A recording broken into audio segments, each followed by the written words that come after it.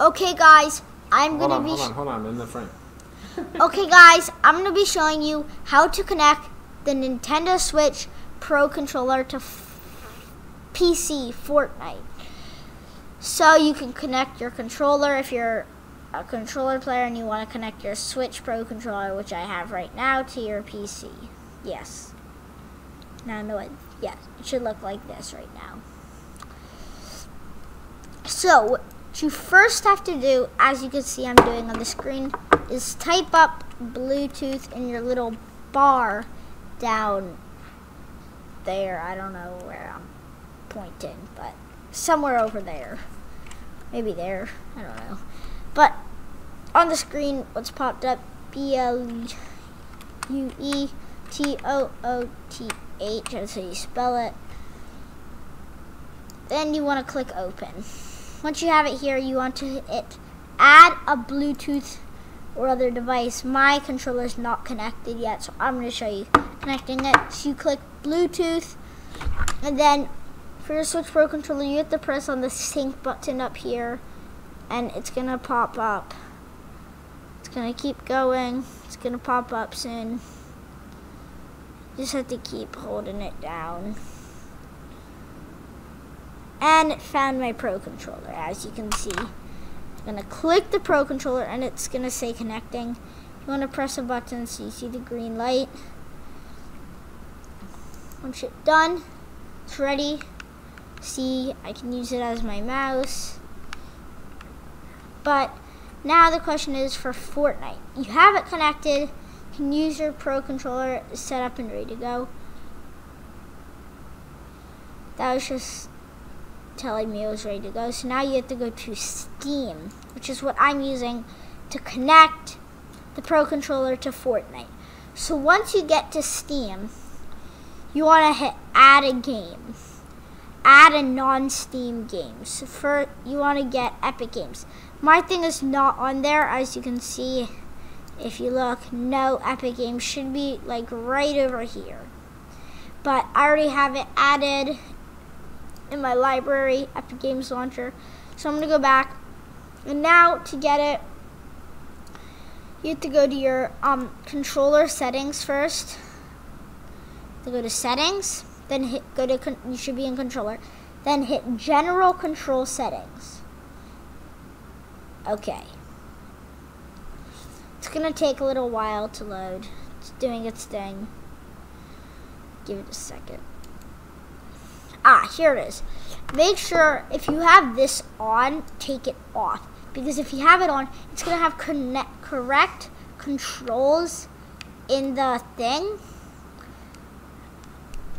So that so now it does back. But if I do this, but but if I go back to settings, general control settings, okay. If I take it off, then B will be my selected A. But then in the game, so basically as you can see, look, I'm going to press B for select, and now it's on A for select. But you do want that off, so in Fortnite, your controls will be correct for the Switch Pro controller. Also, it's the same as Xbox, except the controls are swapped, and the Fortnite thing will be weird, and it will be unlike any controller. All the controls are the same, but you want to make sure to have that.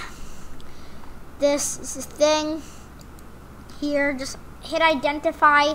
You should feel a vibration. Yeah, and then go back. You have this. Remember to turn this off, boom, on, off. Okay, so now you have your controller. So right now your back is A, so hit A, back. And then what you're gonna wanna do is hit OK. Here, you're done there. You want to have, you have to enter big picture mode in order to do this. This is how you get the game set up. So you should have your game loaded already, as I said. So you want to enter big picture mode. It should be doing its thing. See this? You can just like hit escape. And now I'm in my controller mode. So you want to hit library B because B is select because you should have that setting off Nintendo Switch button so the Fortnite will be correct. Then you hit B again, you slide over to play, hit B. It shouldn't go back to the thing. If it does, then you something is wrong and it's not working. The layering is not going correct. And that I don't know how to fix because that happened to me before on, on something else and it didn't work. So that's why I'm doing it here. So you want to click Fortnite with your mouse. Then it'll do this. It's going to do this for a second. You want to make sure to have your controller. The blue light should be on. Don't click anything once you're back here. It's tempting, so you should just put your controller down and eat some food. No, don't. Wait for it. Controller's still blue. So you can see, you're just waiting for Fortnite. Now it popped on the screen. I have my controller. And you see, if I move this and the mouse is not moving, that is good. That's a good sign. And it says config loaded on my screen. That means it's correct and it's ready. So when I get in, I'm going to show you that the Fortnite controls are actually correct you, since you turned the setting off. Because if the setting was on, they're going to be different. So watch, your mouse just went away. Now you have no mouse. And look, the best thing is, A. Look, I watch this. You can use your mouse. You can change back. B to play. And then once you get into the match match, it'll be right. So A close. So right now, I it's Y and X are correct. It's just B is different. So X is still ready up, A is back. Like these things are still the same, like switching, like A's back. B, A's back, B, A's back in the item shop. It's still different, but once you get into the game, it'll be correct. So I'll show you that right now. So X is correct, but you see if you press B, it'll do A, and it'll bring you into this thing that says B close. So if you hit B, it's not going to do anything. The A for close, and then Y you have the X to play. As you know, X is always play on Switch. Just think about it like Switch controls for X and Y. But A and B are what switch. A and B are switched. They look correct, but they're switched. The opposite for Y and X. They look wrong, and they're but they're correct. So once you get into the game, they're gonna say wrong things. It says B is build mode, but watch this. I pressed A and I'm in build mode. It says B edit. This is the A button right here. Edit. A confirm. And you B is jump, not A. Everything is working. So once you get into the real game, it should work. Because if you hit A, it's not going to do anything. It's like this. I don't even know where I'm landing. Lazy Lakes. So basically everything's pretty simple. You just have to get used to the fact that like it's different. And once you get used to that, it's actually really easy.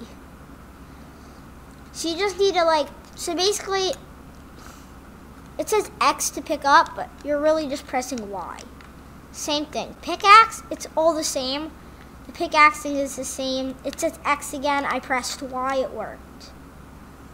Y, it says X. Now, to pick something up, let me find something. It says X, Y. Now I need to find what's X. Okay, pickaxe says Y, right? Everyone sees that. Hit X, it does it. And when you go to shoot the weapon, it does it all correctly. It's correct. And I'm to show you like just gameplay. Okay guys, basically it behaves exactly the same way on Switch. As you can see, I really hope you enjoyed this, and I'll see you next time, and bye.